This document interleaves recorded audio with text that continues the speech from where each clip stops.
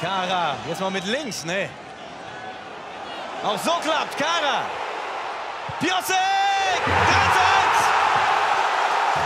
3 Links will er es nicht versuchen. Dann Beinschuss gegen Dick. Und dann hat er die Ruhe, da noch rüberzulegen auf Piosek.